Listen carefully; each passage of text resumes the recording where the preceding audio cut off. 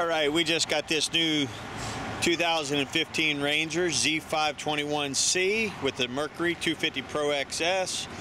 Uh, this boat is retail sold to a customer, Mr. John Durio. I was going to do a little walk around just to show the boat. I really like the way the colors came out.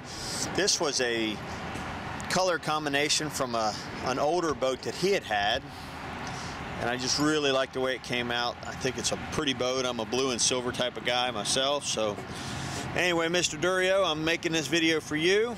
I will be YouTubing it here in a minute. He did get it loaded up pretty good with um, standard, uh, or I'm sorry, not standard, but some good options.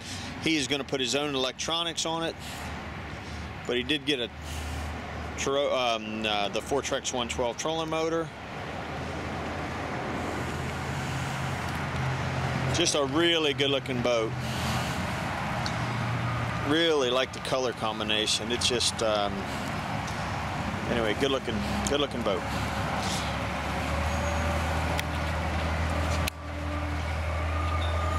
The hydraulic jack plate on it.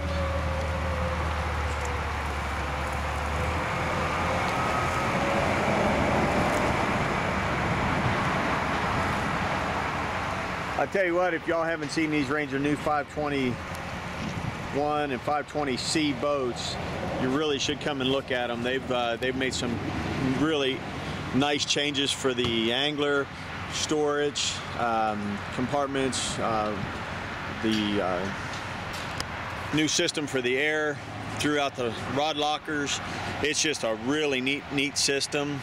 Um, keeps your boxes dry if you've been out in the rain.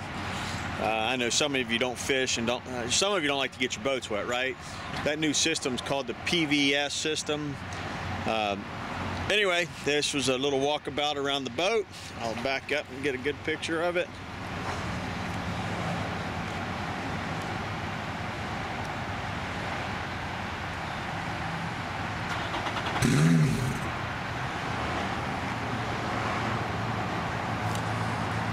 There we have it new Ranger Z521C.